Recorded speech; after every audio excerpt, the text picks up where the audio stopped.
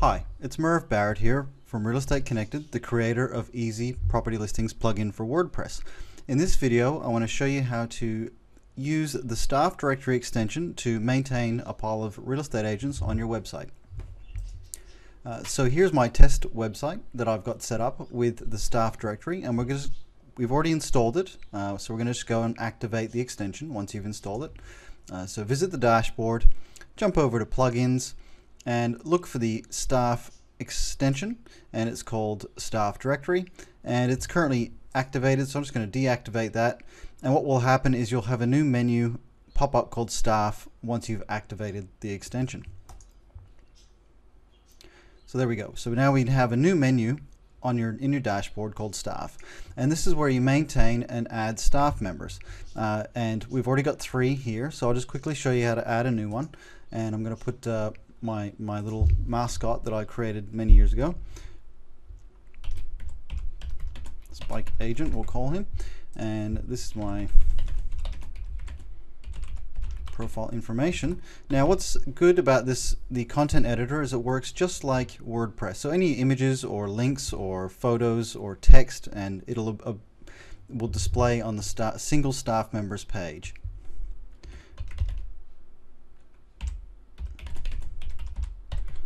Okay, uh, so you can, again, just use it as you would in the normal content editor. So if you wanted to put a, a photo of your family or, or uh, anything like that, you can easily pop it in there and that will appear. Um, so what we want to do is first set a featured image. So the staff directory extension allows you to use a custom image for each staff member instead of having to rely just on the Gravatar image. Uh, so just choose set featured image as you would on a normal post and we're going to add a new image in here for Spike and press set featured image. Uh, so that's his image and we're just going to publish this listing and we're going to view the staff member.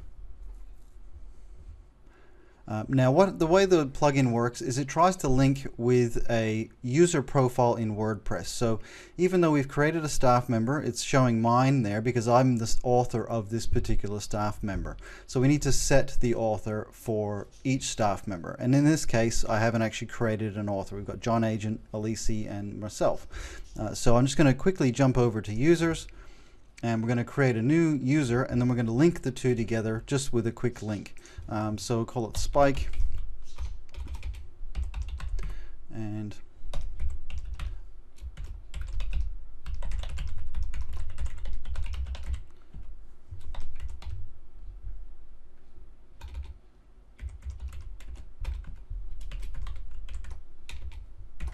having a good time typing here.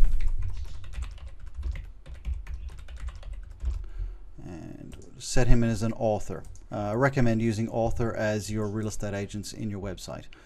Um, so now we've created a new user called Spike and we can actually go and add his additional information like mobile phone number as the normal easy property listing works. Uh, at this moment I'll just put in a phone number and again you can add his Facebook profile and it will link there if he has one. He doesn't have one but I'll just pretend. And again um, is simple bio that will appear in the author box. Houses, and again, you can adjust the Easy Property Listings author box profile information. Uh, so he's a sales associate. And his slogan. And again, if you had a YouTube video URL, you put it in there to populate the tab, but we'll just leave that blank for now. Uh, so we've created and now we have a user uh, for Spike and we also have a staff member. So the last step is to just assign Spike as the staff member. And we've got a handy column here so you can actually make sure that you've linked the two together. So, you know, Elise is Elise, John's John, Merv is Merv, and Spike is Merv. So that's why the it displayed as me. So we're just going to edit Spike again and set the author to Spike and press update and we'll view the staff member. And there he is. So that's his image. We've got his little bio we popped in there. And the staff directory profile populates information underneath the content box if there is any information that is linked to Spike. And Spike hasn't got any listings.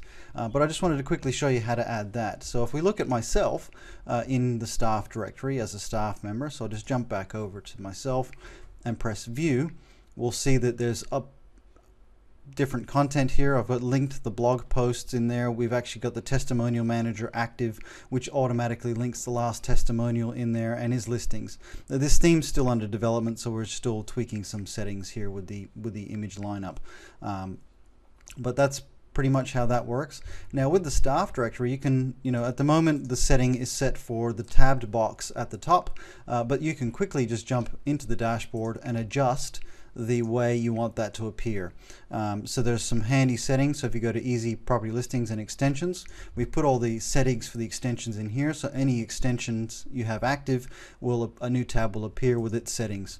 Uh, so here we've got the staff box styles. We have two styles available at the moment, tabbed and bio. So bio is uh, a simple author box that removes the tabs from the top and just makes a nice little neat box.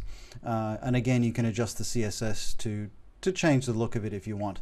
Um, again, we can on the single author. So when we're looking at a single staff member, that's what this single tab is referring to. So if you jump to single, you can ch either choose the author box and then you have a couple options there, or you can choose big image, which will just use the featured image. And again, you can adjust the style sheets to, to suit your theme. Uh, so I'll refresh that and now we have just a big image. And you can, uh, if you had this smaller, you can adjust your content to appear and have uh, lots of different options for your staff directory. Um, now, the last part about this is one when you create a, a post type in WordPress. In this particular case, it's called directory. So you've now got a we've got a page uh, that automatically outputs the staff members on a page. And in this theme, this is how it looks. Again, we've got some issues because my name's a bit longer than on other ones. Uh, but that's what automatically gets created is a directory post type. So the easiest way to uh, add that directory to your menu is to create a page called directory. I've already done that in this instance, but what you would do once you install the plugin is go to pages, press add new, and call it directory. Now I can't uh, what will happen is this will have a, a, there's two pages called directory. So in this case I'll get a directory 3 uh, but if you want to adjust the, the, name of the menu for example like staff directory you would just use your menu option in WordPress and change the menu. Uh, so in this particular case even though it's directories the slug uh, the post slug I've called it staff directory. So I can even get our staff directory. And save the menu and visit the site. and you'll see that it says our staff directory. But it's still using the post slug directory. And then each author is a sub member of the directory slug. So you have several options there to adjust. Uh, also with the staff member, it has a, a, an advanced widget that is very handy for the property pages and integrating different things. So on this theme, um, we can quickly just go and manage widgets and add a widget to the author for the author here. So we've got a new widget staff directory and this will display the image if you if you choose the settings and you can adjust the image sizes. Put a contact um, and we'll now when you view a property you'll see the um, staff member widgets up there. Plus we've also got the author box which is currently set to bio. So the settings that you choose will adjust whether you want the tabbed option or the bio. And that's pretty much a quick overview of the staff member uh, system. And the last thing I wanted to quickly show you is if you have a lot of staff members, you can adjust the order. Just as you would, you can quick edit each one and put in, you know, she's the last, she's number five, uh, and update quick edit this one and number two update and quick edit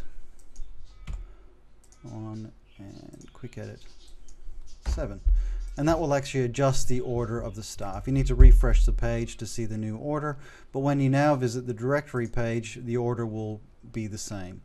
Um, and there we go. Again, I've, I've just need some additional tweaks on this theme before we release it, um, but it's almost there.